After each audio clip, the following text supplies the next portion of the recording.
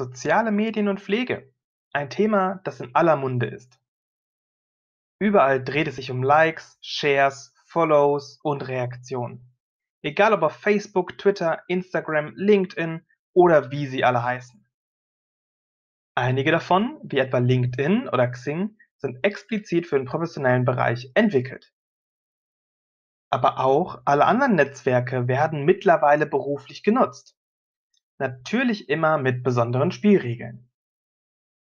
Wir alle kennen schlechte Accounts, über die wir uns aufregen. Grobe Rechtschreibfehler, Beleidigungen, peinliche Partyfotos. Was für ein Bild zeigt das von Pflege?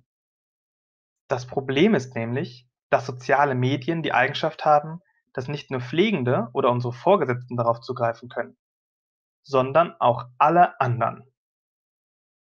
Mit unseren Aktivitäten in den sozialen Medien prägen wir also das Bild von Pflege in der Öffentlichkeit. Wie möchten Sie, dass Pflege gesehen wird? Und wie kann eigentlich jeder und jede Einzelne dazu beitragen? Diesem Thema widmen wir uns beim kommenden Deutschen Pflegetag 2019. Kommen Sie zu unserem Workshop und diskutieren Sie mit. Weitere Informationen finden Sie unter www.deutscher-pflegetag.de.